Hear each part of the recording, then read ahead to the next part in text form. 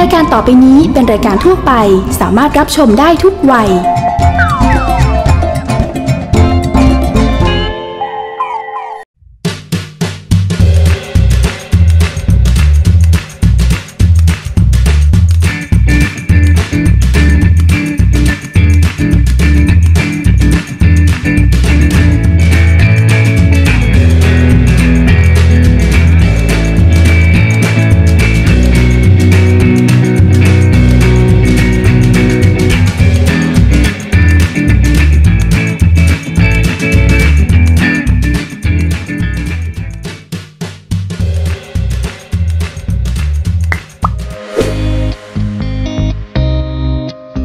ถึงจะเป็นคาเฟ่เล็กๆนะครับแต่บอกได้เลยว่าความน่ารักของเจ้าเป็ดน้อยสีเหลืองนะฮะแล้วก็ความอร่อยของเมนูต่างๆ ที่ร้าน Sweet Duck Cafe นะฮะจะทำให้ทุกคนประทับใจและเป็นร้านโปรดอีกร้านหนึ่งของสายหวานแน่นอนครับว้าว มาที่ร้าน Sweet Duck Cafe นะครับ ผมบอกเลยนะฮะว่าสายหวานทุกคนห้ามพลาดเมนูตามนี้เลยนะครับ อันแรกก่อนเลยนะฮะ อันนี้น่ากินมากๆ บิงซูสตรอเบอรี่นะครับ ไอศครีมของเขาเป็นไอศครีม homemade ทำเองนะครับ ปกติเนี่ยบิงซูเนี่ยหลาย ๆ ที่เนี่ยทำเนี่ยเขาอาจจะใช้เป็นนมที่เป็น นมผงนะฮะไปผสม แต่ที่นี่เนี่ยเขาการันตีเลยว่าเขาใช้นมสดจริง ๆ รับประทานคู่กับผลไม้ที่บอกได้เลยว่า จัดใหญ่จัดเต็มจริงๆนะครับสตรอเบอรี่ลูกใหญ่มาก แล้วก็มาเต็มจานแบบนี้นะฮะน่ากินจริง ๆ ก็จะมีซอส2ตัวนะฮะอันนี้จะเป็นซอสนม อันนี้เนี่ยเป็นซอสสตรอเบอรี่ใครชอบหวานซอสนมใครชอบเปรี้ยวนะฮะจีจานแบบนี้ต้องซอสสตรอเบอรี่ครับมาชิมพร้อม ๆ กันนะครับ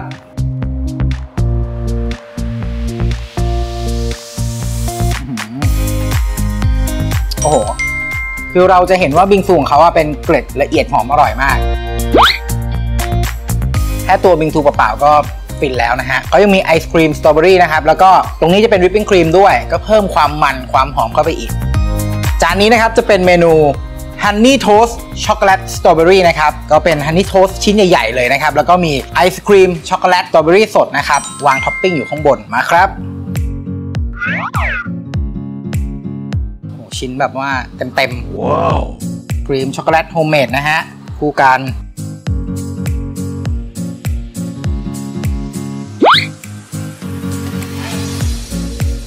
ต้องบอกเลยว่าไอศครีมนะฮะ ช็อกโกแลตเข้มข้นมากๆ อร่อยจริง ๆ ครับ ส่วน honey toast ของเขานะฮะ บอกได้เลยว่ามันชิ้นใหญ่มากนะฮะ แล้วก็ข้างนอกยังกรอบอยู่ข้างในก็คือนุ่ม ๆ เลย ทานคู่กับไอศครีมช็อกโกแลตนะครับ มีใครชอบกล้วยหอมเขาก็มีมาให้เต็มเลย แล้วก็มีผลไม้อย่างสตรอเบอรี่ด้วย แฟนๆนะฮะคนไหนที่ชื่นชอบ honey toast อยู่แล้วเนี่ยที่นี่เป็นอีกหนึ่งที่ที่บอกได้เลยว่าเต็มคำมากๆอร่อยแน่นอนครับ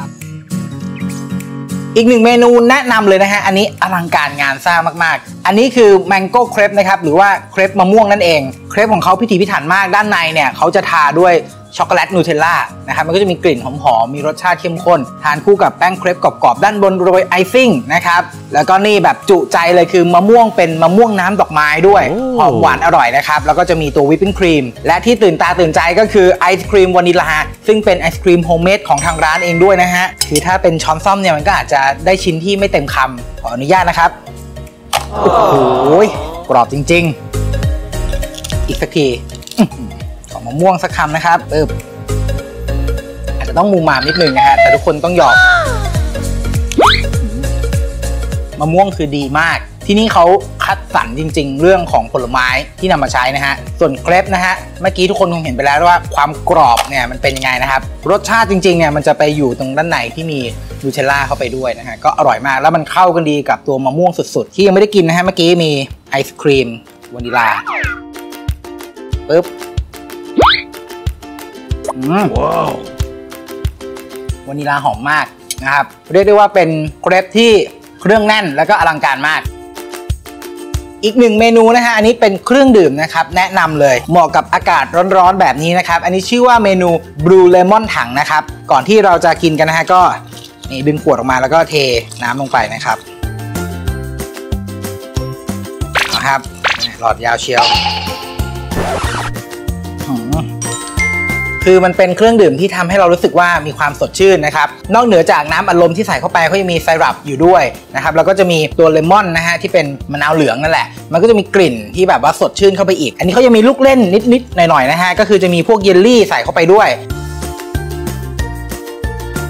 สำหรับร้าน Sweet Duck Cafe นะครับ อยู่ที่ถนนสนามบินน้ำเลี่ยงเมืองนนทบุรีนี่เองครับ ผมแชร์พิกัดให้แล้วนะครับ สายหวานทุกคนต้องไม่พลาดแวะมาเช็คอินกันนะครับ การทำขนมและเบเกอรี่นะครับไม่ใช่เรื่องยากเลยนะครับ อย่างเมนูของอาจารย์ยิ่งศักดิ์ในวันนี้นะครับ บอกได้เลยว่าง่ายมากๆ ใครๆก็ทำได้ครับ ช่วงอร่อยอย่างมืออาชีพ สนับสนุนโดยนกเหยี่ยวฟอลคอน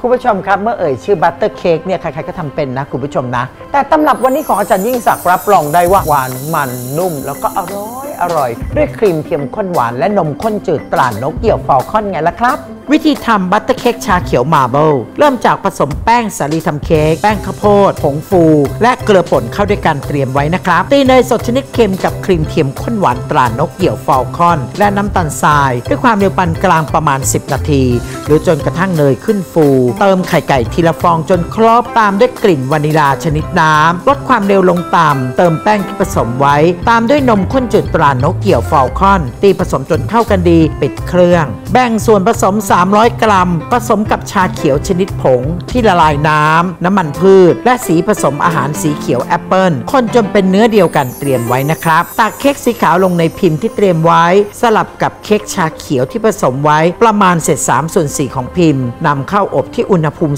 300 องศาฟาเรนไฮต์หรือ 150 องศาเซลเซียส ประมาณ 40 นาที หรือจนกระทั่งเค้กสุกนำออกจากพิมพ์พักไว้ให้เย็นสนิท รับประทานคู่กับเครื่องดื่มแก้วโปรดตามชอบ เท่านี้ก็มีความสุขกันทั้งครอบครัวแล้วล่ะครับ คุณผู้ชมสามารถติดตามสูตรความอร่อย และความรู้มากมายได้ที่ www.falconforprofessional.com นะครับ